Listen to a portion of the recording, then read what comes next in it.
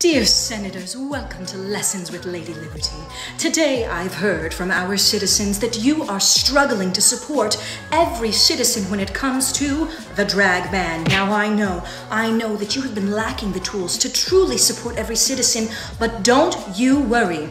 We are going to dismantle that right now and give you the tools you need to support every citizen moving forward. Now, here's the thing in a powered and binary world, we say you can only support the children or you can only support your citizens who freely express themselves through drag. Well, worry no more about the binary, senators. You don't need to. Perhaps you have heard of the cinema. Yes, the cinema, in which we have rated NC 17, rated R, PG 13, PG, and G.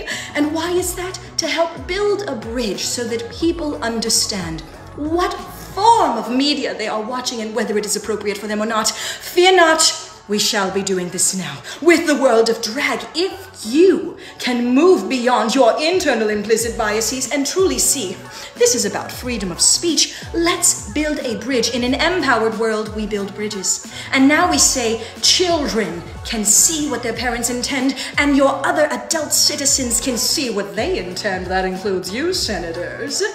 In a world in which we all speak the same language of ratings, don't you worry, we're getting on it. Are you